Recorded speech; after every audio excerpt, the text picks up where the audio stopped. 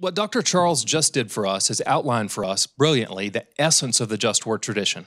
Triangulated pacifism on the one hand, uh, the crusade, jihadi, militarist, uh, going to war all the time position on the other hand, and the just war tradition. And he said, listen, these two paradigms are idealists.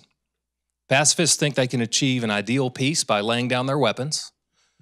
The militarists think they can achieve an ideal peace by perpetually rooting out evil wherever it's found, wherever they think it's found, calling something evil and then going attacking it. But we don't live in an ideal world, we live in a real world. There won't be ideal justice until Christ returns, installs a one world government and a one party system in which justice will roll down like the waters. And at that point, there will be an ideal uh, justice, but not until then. So that's the essence of the just war tradition. What I want to do, my talk will be really brief, I think around 10 minutes. And I want to just uh, um, talk about two sets of criteria that just war thinkers use to determine uh, justice in warfare. So the first are the uh, jus ad bellum, and that means basically these are principles, um, criteria that you look at before going to war when you're deciding whether or not to go to war. And these criteria that I'll give you hang together. And together, all of them need to be taken together. Together, they let you know whether or not you're justified in going to war. Uh, then the second set of criteria are criteria for determining what is a just way to wage war. You know, there's a saying, all is fair in love and war. It's false. uh, all is not fair in warfare. And so there's some things that are unfair and unjust and wrong to do. So let's start with um, uh, the principles for deciding whether or not to go to war. Now, I apologize, I'm going to have to be concise to the extreme okay? And a few qualifications. Just war thinkers will, there'll be a difference in how many numbers they have, the number of criteria they list. Usually, though, that's just because, like, I, have got eight listed. Sometimes people will collapse the categories into one another. Uh, and so, but you'll get you'll get different lists. I'm going to list eight, and I'm building these off of the notes of my teacher, Dr. Heimbach. Um, and I'm going to have to be concise to the extreme on this, but I'll try to kind of cut to the heart of it, and then we can we can do recommended reading, and we can talk about Dr. Charles's books and Dr. Heimbach's and some other ones later during during Q and A. So um, here we go. So the the first one that we'll mention is just cause. There's got to be a, a, a right um, uh, reason for entering the war, and as I define it, um, that uh, a just cause is to correct a specific injustice or an injustice that you know will be committed. Like you've got actual intelligence, somebody's getting ready to attack or to uh, be an aggressor in a way that you need to be aggressive toward them. Say to correct a specific injustice. Crusader isn't correcting a specific injustice. They're going after people because they want to change their ideology or their worldview or their religion. Um, they want to get evil and bad thinking wiped out off the face of the earth. So, um, a lot more could be said. Just cause. a lot more could be said. Uh, number two, legitimate authority. That uh, the decision to go to war must be made by the political leader or the civic body who's responsible for the good of the people. Because hopefully they're going to be the ones who have the best interest of the population in mind. Now, sometimes, um, it, sometimes, rarely, it can be legitimate for, uh, like in the case of a political revolution, for lower level political leaders and a, group of people in society to wage a civil war against higher leaders. We don't have a lot, I can't elaborate on that right now, but just the general rule of thumb is that you're going to have um, the political leaders who are elected or appointed um, who are in charge of the, the welfare of the people, of order and security. Number three, right intent. Right intent in warfare is to restore a previous state of, uh, of peace. It's not to expand your uh, territory of your country, uh, to glorify your nation, to assert your dominance in the world, um, to keep your soldiers in practice for future wars. So we're going to have to find another intervention, a nation might say this decade, to keep our special operators in, in good warfighting shape. Uh, these are not, this is not right intent.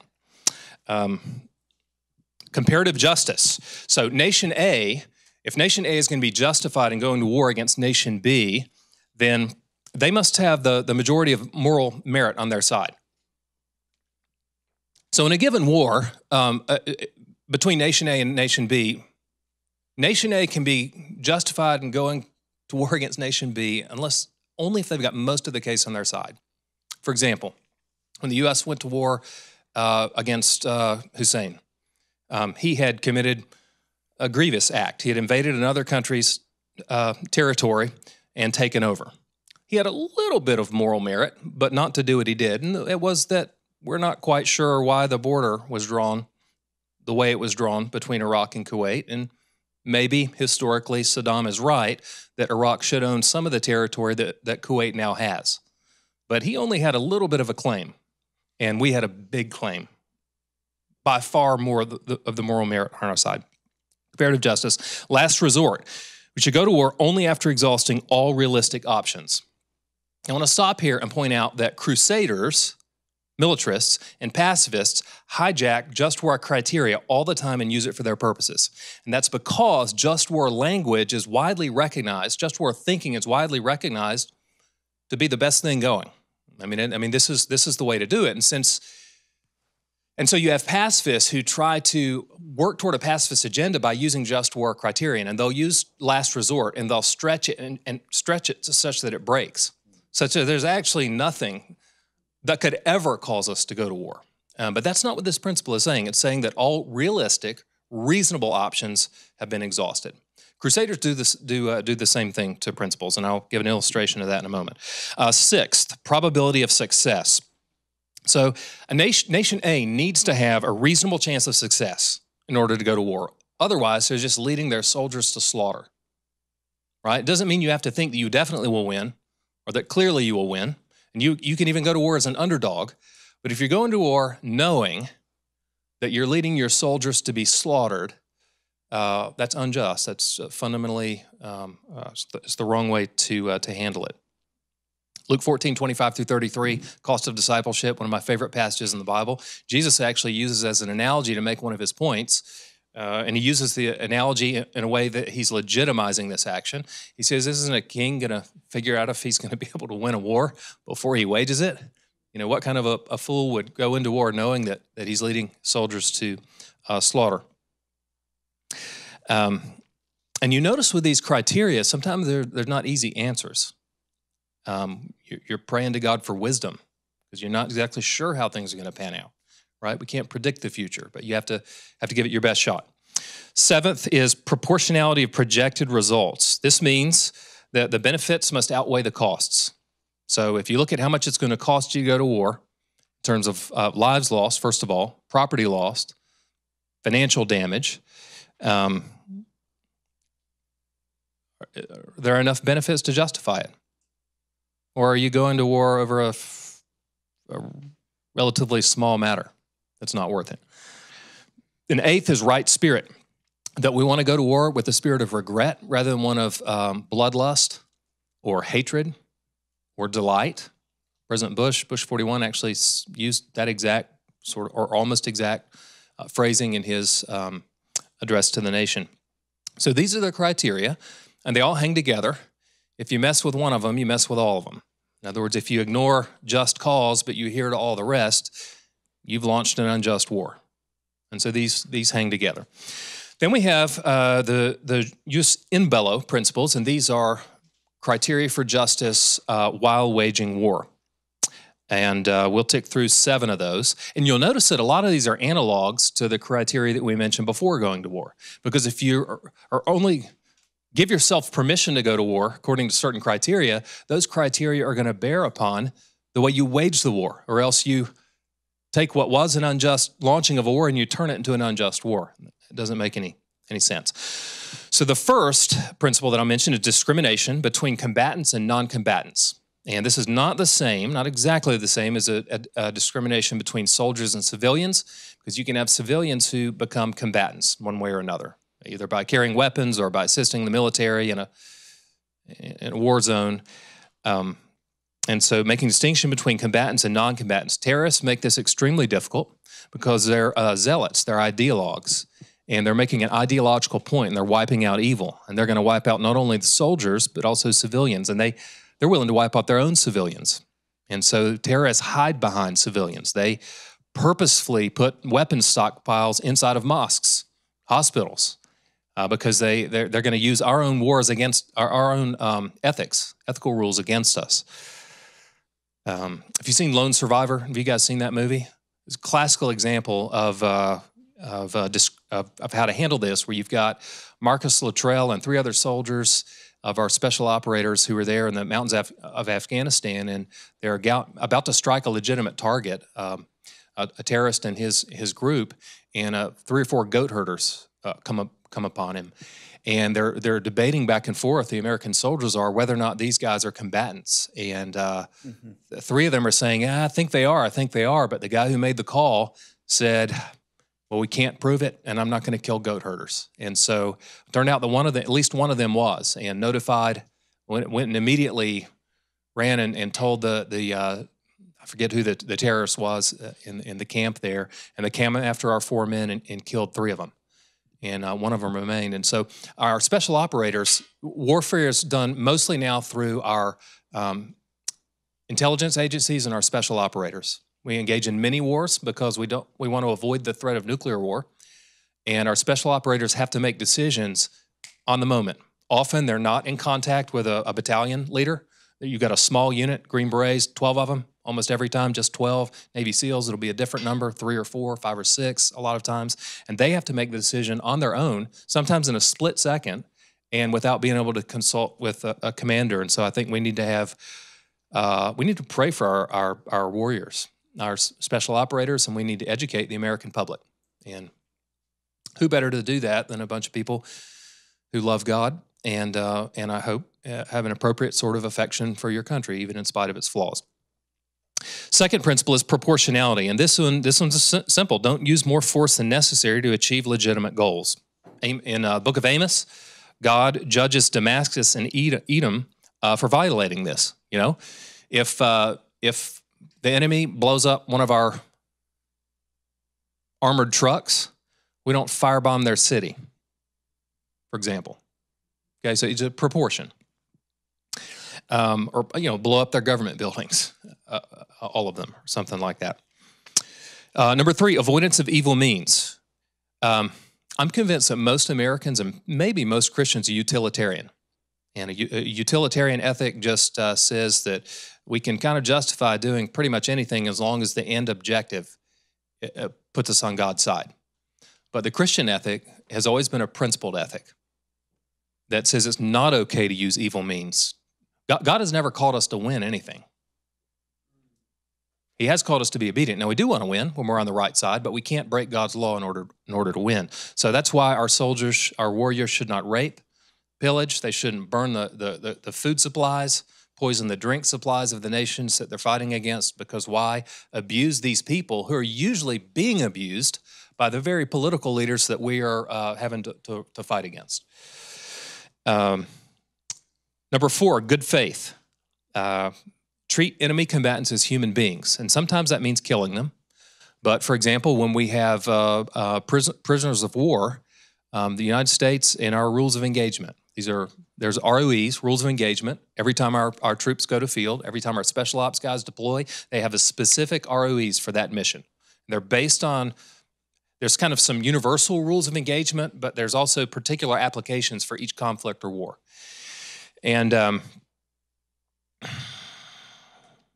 yeah, and so uh, treating prisoner, prisoner prisoners of war as humans is one of them. Now, there's some debate over enhanced interrogation techniques and torture and so forth. You guys are welcome to ask a question. Dr. Heimbach's worked on that. You can ask him that question or, or Dr. Charles. Um, number five, probability of success. We need to stop fighting if success is futile. It goes for any nation, why lead your, your people into a slaughter? There's no chance of winning it, stop. Then uh, similar um, principle is proportionality of uh, uh, projected results, we need to cease fighting if it becomes clear that a victory will cost us more than a more than walking away. Um, that's difficult actually to decide. The, the classic case of this was in World War One, the Battle of Somme, where um, the the Brits and the as I like to call them, and the French lost about uh, I think it was I think six hundred thousand were killed and another 400,000 were injured badly within the space of a few days, and they gained only six miles on the enemy.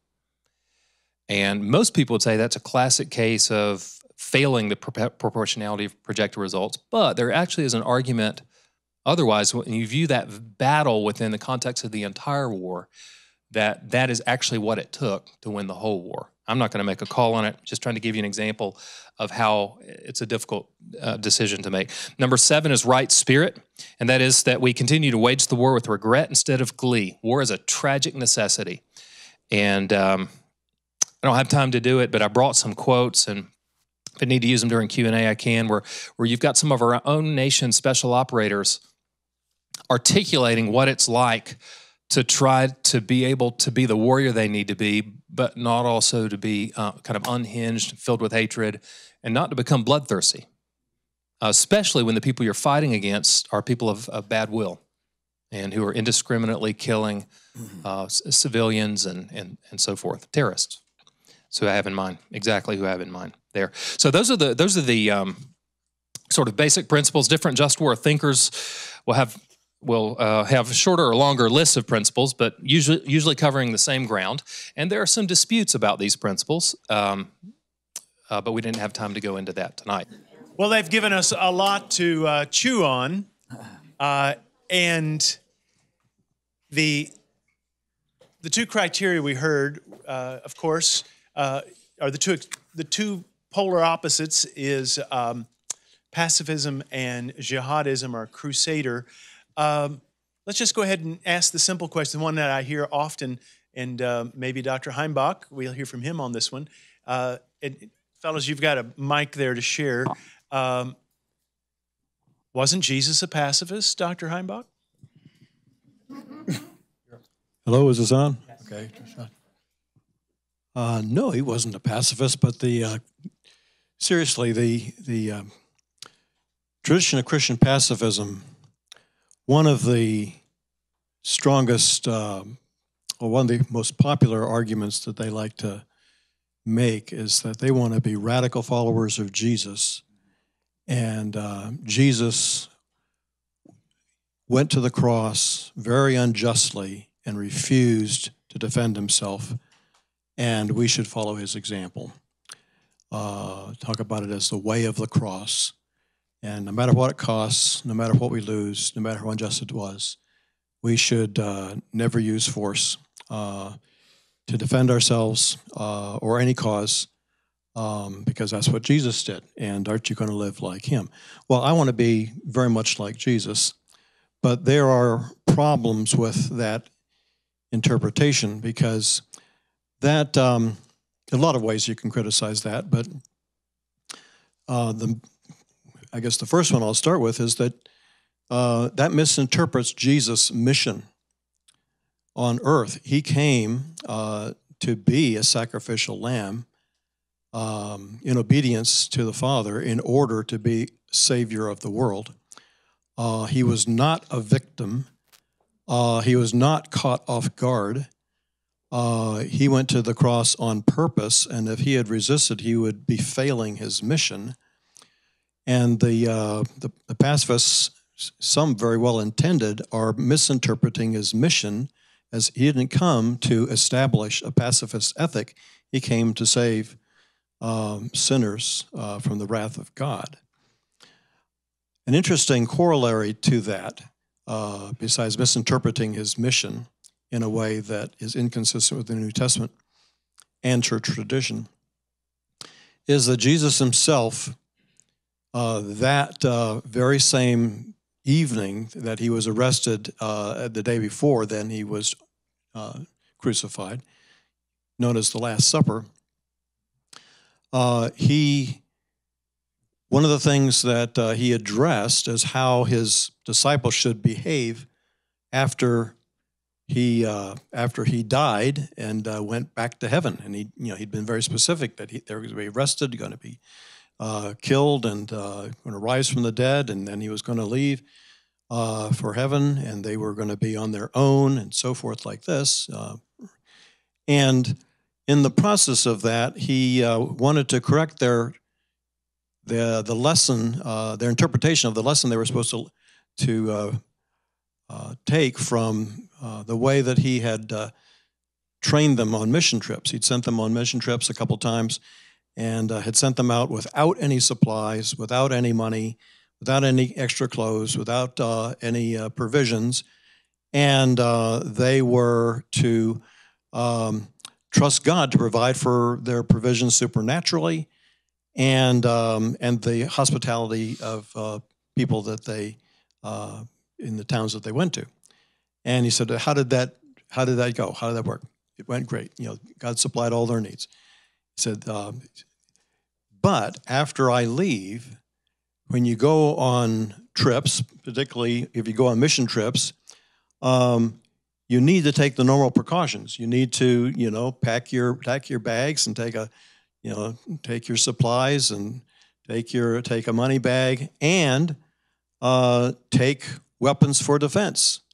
Uh, take swords, which was uh, weapons of deadly force in those days, because there was no uh, police force in the country, and uh, you had to be the police force defending yourself, even at the point of using deadly force against uh, those who were attacking you. So he, he had told his disciples, even if it was a mission trip, they should take weapons of deadly force with the idea that they might have to use them at some time. And he told them that just a couple of hours before uh, they uh, went to the Garden of Gethsemane and then uh, he was arrested. And of course, he rebuked Peter's use of the sword. So, so Jesus' rebuke of Peter's use of the sword wasn't a change of the ethic of uh, force. Uh, not merely was it a change with regard to government, it was uh, you know wasn't even a change with regard to you know, personal self-defense, because um, uh, he was he was telling Peter, you don't you don't use uh, deadly force for to uh, spread the gospel. You don't do it to promote the mission of the church, um, but he was not prohibiting them from using uh, swords even in self defense because he just told them that. Thank you. Um, and be thinking of questions. Uh, Kimberly uh, is over here, and uh, she's got a microphone, so you raise your hand, and we'll make sure that if you've got a question, just say your name, and we'll take your question. Uh, while while we're doing that, yes, uh, Dr. Charles. I was just going to piggyback on as we're talking about Jesus, uh, his mission, which Professor Heimbach clarified. What often receives very short shrift is um, Jesus' view of the centurion. I think it's recorded in Matthew 8. Uh, he takes a, an officer in the Roman legions and he uses him as the paradigm for faith. Do you recall what he says? Nowhere in all of Israel have I seen faith like this. Now, he could have said, You know, I commend you for your faith, but geez, find another job. You know? Or you're missing it. True discipleship will call you into another profession. No. Uh, that's not an argument from silence, as many pacifists would say. Uh, let's back up a half step. John the Baptist. Only Luke, in a tantalizing way, uh, tells us that several soldiers come in a time of repentance, a context of repentance change of heart, right? And uh, what do the what do the soldiers ask? You know, what must we do? To which the Baptist responds, what? A twofold response. Get out of the Roman legions? No. Be content with your wages and treat other people justly. Wow. Boy, did Jesus miss a great opportunity. May I add to that one? I, have got to add to that one because I, I talk about it in class a lot. But um, it's that's very often dismissed as a um, argument from silence. He doesn't specific. He just told him to, you know, to uh, to to behave nicely and to be don't complain about their pay. But that's not saying that their profession is legitimate. Wait a minute. He answered in a way that presumed there's nothing wrong with serving as soldiers in the military if you do it right. Um, and the reason you know that is if you substitute a profession that is inherently sinful. See, the, the pacifists are, are saying serving in the military, being a soldier, doing what soldiers do uh, when they have to do it, is itself sinful, is an inherently sinful profession. Um, well, what's an inherently sinful profession? Being a professional prostitute. So, the way he you know way he answered those those two sol- two soldiers was, let's say there were two prostitutes, and that's all we know about them. They're professional prostitutes. Two professional prostitutes came to Jesus and said, What do we need to do to, uh, to reform our lives and live in a way that's ready for the Messiah? If he said, Well, uh, don't overcharge your customers and, uh, and practice it fairly. Uh, no, I mean, the, uh, that, he wouldn't answer that way because answering that way is presuming there's nothing wrong with the profession. So that's the way Jesus answered, I mean, answered those soldiers. He answered in a way that presumed there's nothing inherently wrong with being a soldier. That's a vivid illustration. Maybe we could say, you know, if they were two hitmen or something. Kimberly, uh, what questions do we have? Kimberly's uh, uh, got the mic. Uh, say your name and, and uh, ask your question. Um, hi, my name is Janet McKay. I live here locally. There are a couple of debate clubs here of high school students, if you haven't noticed. I'm embarrassing them all right now. But we're here because this year, we're part of a national uh, Christian Forensics League, and this year the resolution is dealing with the ethics of preventive war, um, which is a relatively new thing. And so we wondered if you could speak to the just cause, the last resort principle, anything that that you've come across with the relatively new idea of preventive war. And by the way, can I just say we will be debating this resolution in Cary in March and in Youngsville in April if anybody wants to come and watch. Excellent. Excellent. and judge. Yes. Thank you. Actually, I'm very curious as to what um, Dr. Charles would answer, but uh, I guess you want me to address this. Uh, Michael Walzer addresses this in uh, in his book very well, I think, and in a way that uh, I think has been overlooked by a number of Christian, well-meaning Christian ethicists who just haven't thought as carefully about it as uh, as he did, or he has. Um, and uh, he makes the distinction and argues as part of the just war tradition. It's a question of interpretation using uh, the, the term preventive war. Uh, it really uh, comes down to proper interpretation of the just cause principle. And um, it is, it is uh, a, um, a stretch, an improper interpretation of just cause principle to um, argue as just cause uh, a reason to attack the enemy if they actually haven't done anything wrong to you. So, um, the way uh, Augustine put it, uh, to have just cause, your enemy must be sinning, uh, i.e., against you. Uh, not against somebody else, but against you as an international ethic. So, um, if the enemy isn't you know, just out of fear of what the enemy might do, is not just cause because he actually hasn't done anything wrong. You're just afraid that he could. So, the uh, distinction that needs to be made um, is uh, between preemptive war and preventive war. And um, preventive war is not is outside the just war tradition, and preemptive war is. Uh, the difference between prevention and preemption prevention is when you are arguing your reason for going to war is to prevent or stop the enemy from doing something you fear he could do.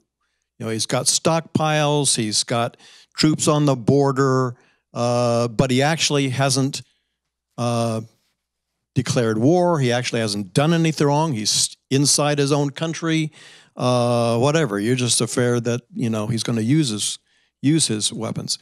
Um, preemptive war is where you the enemy has actually done something, started a uh, an action against you, but you haven't experienced the uh, harmful effect yet. They fired the missile, but it hasn't landed, or The Uh, plot. You, you know- toward the terrorist well, plot. you you you inter well terrorists don't uh, represent a government unless you talk about terrorist regimes, but but because they're separate. Uh, it, it's a confusing category. Are they a government or not? But that that's that's going in a different direction.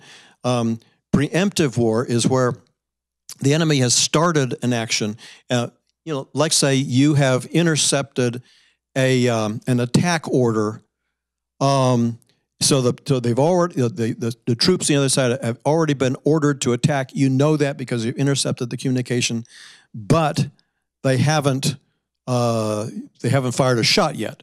But they've actually been sent. They've actually been ordered to war, and so it's started. The enemy's already initiated the action, and so you uh, you then take action to attack them before they, you know, are ready because they've already been ordered to attack. So the uh, that's just an illustration of an you know that's that's a, a preemptive action, which is uh, within the traditional interpretation of just cause, and preventive is not. Dr. Charles, you want to add anything to that? Dr. Charles might have another interpretation. Mm-hmm. Nope. There's no, there's no argument on the affirmative side. Mm-hmm. Uh. You want to you want to try with this, Dr. Ashford? a couple things that came to mind. I mean, in the in the crusader mentality, there's always a pre- preventive war to be waged. There's always evil, and uh, you're so you're waging war on many different fronts all the time. War is endless. So that's one thing. Uh, uh, uh, When you open the door to preventive warfare, you al- it also means that the most powerful nation in the world gets to determine who's evil and who's not. They haven't done anything wrong yet, but they're bad and they have to be they have to be taken out. And so uh, one day that won't be the U.S. It'll be somebody else. what do we what do we want? And, and they're going to have a different view of what's what's right or wrong. And and what if the shoe were on the other foot? And uh, what if they realized that we had uh, taken the lives of sixty to seventy million unborn human beings in the past fifty years? Then uh, so the general rule here is not to violate uh, sovereign uh, the sovereignty of other nations. Um, the other thing is this a lot of times, a war that is argued on preventive grounds didn't need to be argued on preventive grounds. Well, um, the Second Gulf War, Dr. Heimbach argued that in his essay that uh, it was justified based on the fact that Saddam uh, broke his treaty over and over again. And uh, so, so often you can find a way.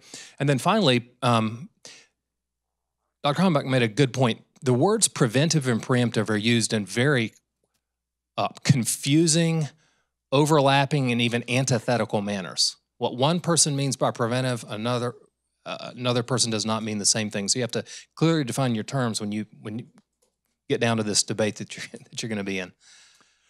Very good. Next question. We have a hand over here, Kimberly. Say your first name. My name is Scott. I live here locally. Um, and um, I have a question with language, what you were talking about. Uh, Dr. Charles, you mentioned about the false dichotomy between secular and sacred.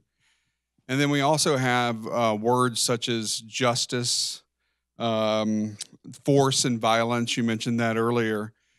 In a world that's increasingly diverse, how do we land on a solid ground? How do we land in a place where just war means just war? Uh, and the reason I ask that question is, is we have allies such as we'll use Saudi Arabia as an example. When we talk about justice, we mean one thing. When we talk about justice with our ally in Saudi Arabia, they'll say another. But we're justifying going to war with those particular allies who are very different. Dr. Charles, you want to try that one? Yeah. Well, that's a great question, and and uh, there are com- uh, it's filled with complexity. Uh, I and I grant that Saudis and Westerners or North Americans view life in different ways. They use a different language. They have uh, different belief systems. But I don't think that uh, I don't think that there's a denial of justice at a fundamental level. If that were the case, there'd be no there'd be no room, there'd be no possibility for foreign affairs, there'd be no possibility for diplomacy. If there's no, what I'm getting at is, if there's no shared moral ground between human beings, regardless of culture, regardless of religion, if there's no shared humanity, which inform, which inform our, our informs our understanding of justice, then it's going to be hard to get to first base. But I'm one of those who would argue, yes, that based on the natural law, that is to say, the law written on the heart, that which all people, as one philosopher describes it, that which we can't not know. There is something called criminal justice in Saudi culture. Now, it's tainted by their religious view of reality. but I do believe, nonetheless, their uh, justice takes on a character so that Saudi Arabia can uh, have relations with other nations. that can't be rooted just in Islam, otherwise, they would have no uh, foreign relations with nations outside of the Middle East. So that's, the, that's a tall order for a diplomat, is it not? For those who are uh, negotiating. But it seems to me that there, is, there are realms of common ground. And that's why the tradition itself does, is not just a Christian thing. One might have gotten the impression tonight from comments made that the just war tradition is just this religious category. No, it's a description of moral reality and moral reality grounds all people regardless of their cultures. Now, if you're hearing by, thereby that I'm saying it's easy or it translates easily, no, not at all. Uh, but that's why government service, that's why diplomacy, uh, that's why policy are so important because uh, that's why they're, they're necessary. That's why that's sacred. Those vocations are sacred. They're difficult, they're complex but they require an understanding, it seems to me, of human beings, human nature, as well as culture, uh, that look for common ground without necessarily compromising on, on moral matters that are non negotiable. But outside of that, I don't have, I, am probably not satisfying you with my answer, uh, but I'll leave it at that. Well, I'll piggyback on that. Is this on? Yeah. Okay. Um, the, the just war ethic or just war tradition is uh, a real a, a, real world ethic, a realist ethic, not a perfectionist ethic. And um, in a real world, uh, everything's less than perfect. And when you are trying to uh, fight wars or you're planning to fight wars with different allies, and I mean, even even within commanders in a single army, you're going to have different interpretations, different uh, mm-hmm. levels of understanding, different feelings and of motivations, uh, and so. Um, one, the decision, you know, the, how you interpret it is ultimately on the shoulders of the commander. Uh, should be the head of state, but if he's if it may be the, gen, you know, the, the, the general in charge on the ground or whatever, and if you're working with allies, and you're deciding whether we are going to use this procedure, that procedure, or whether we're going to attack, you know, because uh, we're we're in the ready, but we're not starting it yet. Um, and you're you're thinking your way through just cause, um, then uh, if you're the if you're the chaplain and you're giving advice on just war interpretation, then you should give your best moral advice to the decision maker but then he's going to have to make his decision based on your advice. Um, but if you're if you're an if you're a commander of a, of a U.S. unit and you're working with a Saudi unit, um, you can talk about it, but you have to take responsibility yourself. You can't be responsible for their interpretation. You're you're responsible for the interpretation of the joint force that you're over, and they're just going to have to cooperate with what you say the cause is. One more question, right here. Uh, my name is Mitch, and I'm a student here. Uh, so I'm wondering, how would the just war theory apply to the situation of advanced interrogation techniques like torture, especially in relation to like the imago Dei of a person, even in the times of war? Hmm. Dr. Heimbach, do you want to try that one on enhanced interrogation and techniques, waterboarding, and the like? And tell them where they can find your article on it. and tell them where you can, they can find your article. Well, I've got all the lecture notes upstairs. Um, where is that article? I forget where it got published. Anyway, it's, it's been a while ago. I well, I I uh, organized a whole um, uh, session at the annual meeting of the Evangelical Theological Society debating this, uh, and we had folks representing different uh, points of view on it, and I tried to reconcile them, but um, my uh, after reading through all the literature and the you know the emotional things that people were saying, uh, I concluded that actually the problem was with the definition of torture. Because uh, people weren't really disagreeing. Nobody was saying we should treat um, enemy prisoners immorally. Uh, nobody was denying that they should be interrogated, and sometimes you, and sometimes it's hard. Uh, you get non-cooperating um, prisoners. Most prisoners are non-cooperating uh, if they're trying to get intelligence out of them. Um, and so uh, no one really uh, was against, you know, maybe, uh, you know, talking to them with a with a stern voice or uh, having them miss a meal or maybe, uh, you know, the thing is that the level of it's a continuum. There there is a continuum from from nothing and acting like a pal to, you know, uh, uh, putting someone to a very torturous, slow death. Um, and so the question is when. Uh, when is it? When is when are the stakes justified? When is it? Uh, when uh, is there any other way? uh, to to get the same information without doing this. Uh, you know, how many lives are at stake? Do we really know this guy knows the information or not?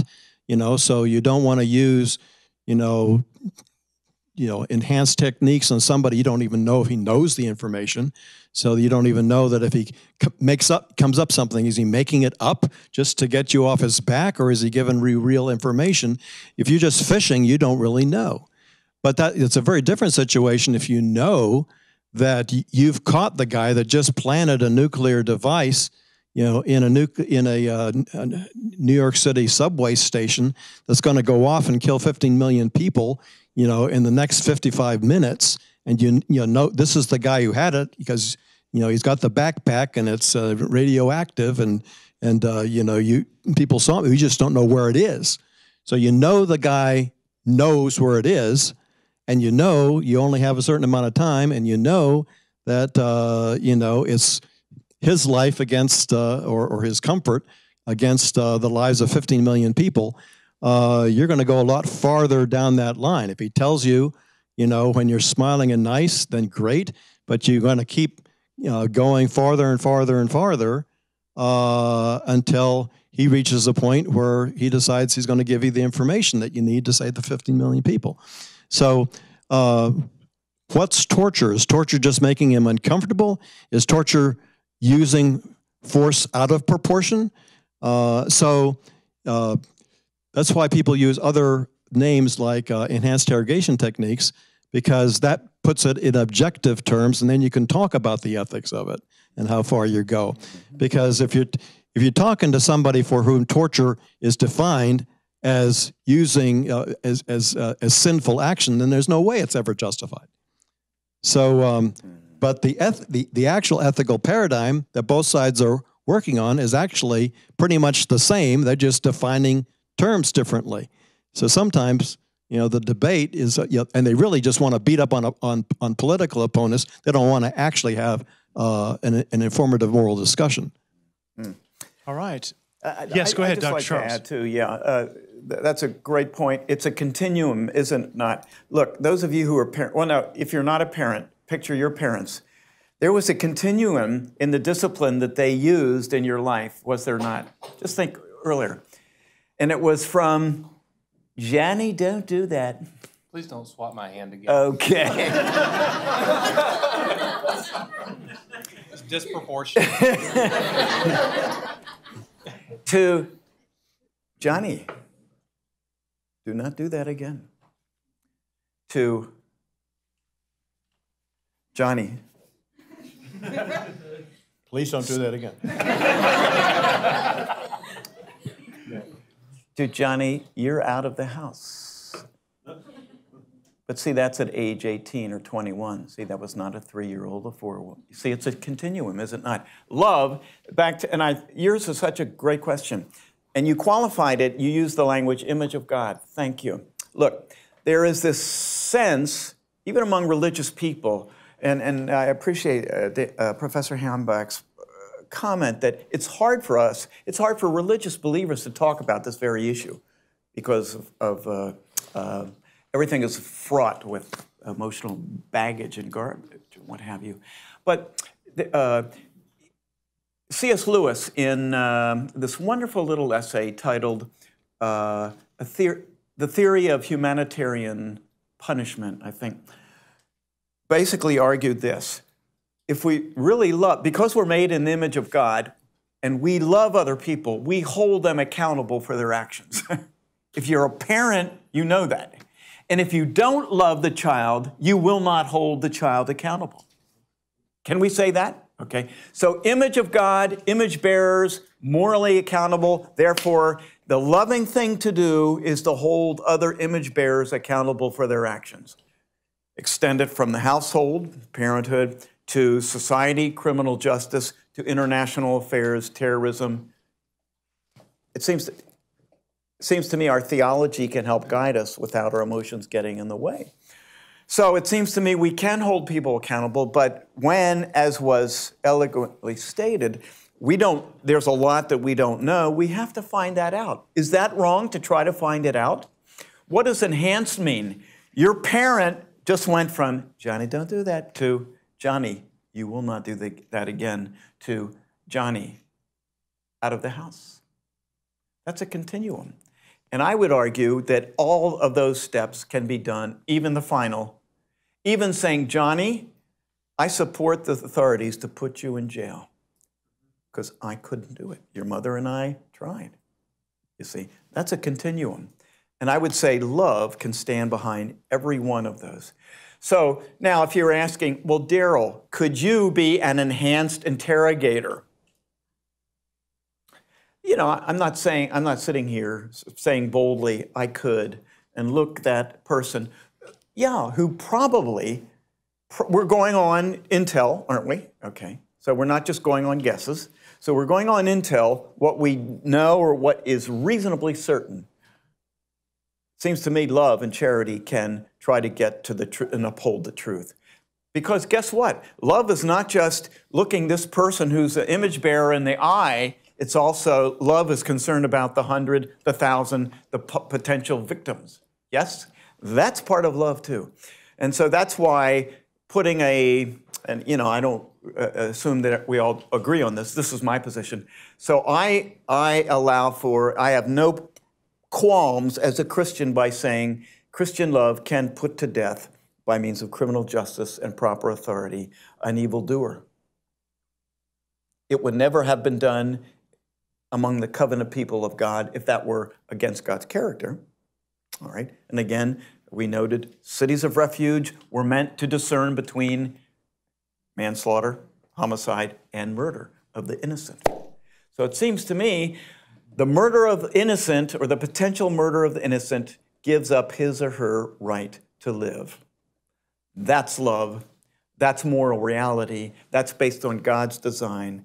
Now, can that be abused? Of course. You're worried, hey, gee, Daryl, you're just opening things up for grand abuse. Well, no. Uh, some have to make those difficult decisions. Now, thankfully, we don't every day, but there are those who do, and I'm glad they're there. Uh, my oldest is a professional uh, therapist, and in the last 10 years or so, I think I've come to appreciate her work a heck of a lot more because I was much more simplistic in how I, how I viewed dealing with evil, helping people with deep, uh, uh, tyrannized by personal bondage.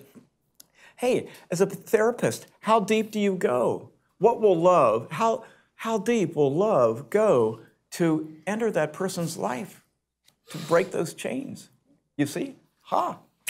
So it seems to me even a psychologist, even a therapist can use quote unquote advanced interrogative methods So drawing the line is very difficult, and the, the point made here is just cannot be uh, uh, overestimated. It really is, is critically important.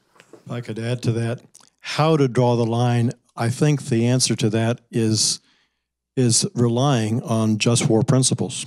Uh, let's say, uh, how far do you go? Well, you consider likelihood of success. Do we know? Does this guy know? i- Is he the one responsible? Does he know the information, or do we just uh, we just haven't? We're just guessing.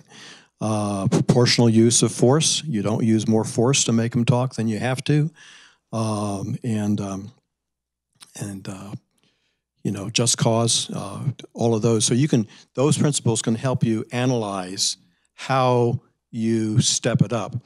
Um, but back to the issue of uh, made in the image of god um, that is critically obviously critically important uh, particularly for a christian but i think for anybody.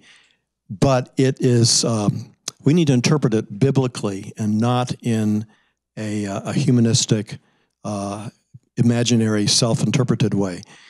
Um, because although the image of god means that uh, this is a human being and not an animal uh, that also means that we need to treat the person as a responsible moral agent and not a machine and therefore someone who is responsible for his or her actions and needs to be and uh, and therefore someone who uh, can be held accountable for that and not just simply say well you know you were tired or you were uh, you know you were abused so uh, trying to make an excuse for it you are responsible you have a conscience you you uh, you know right and wrong um, but this it, it has to do with the proper interpretation of the sanctity of human life right and um, there is a very interesting, little discussed verse in Scripture. Most of us are Bible students here, this being seminary and all. In Ezekiel, I think it's Ezekiel 13 9. Uh, uh, that's just trying to remember from memory. Uh, in which God, who is the, um, the one in whose image we are made, and uh, whose ethic it is, is criticizing um, religious leaders of the day for misinterpreting the sanctity of human life ethic. And God says there's two ways. You are you are lying to my people. Uh, that is, you're telling a moral lie. You're twisting uh, a moral claim uh, on the sanctity of human life in two ways. One, by killing those who should not die. Well, we're used to that. You know, shedding innocent blood. Sanctity of human life means you don't kill those who shouldn't die, and not killing those who should die. So the so God says you're violating the sanctity of human life ethic when you don't kill someone who forfeits their right to life. So the uh, the murderer or you know the enemy combatant uh, does not have, according to God, uh, an inherent right to life. It is subject to the conditions that God gives, and if you have wrongly taken the life of another, you no longer have a moral right to your own life. You've forfeited that because your life, the, the life of the victim, is not worth less than the life of the murderer.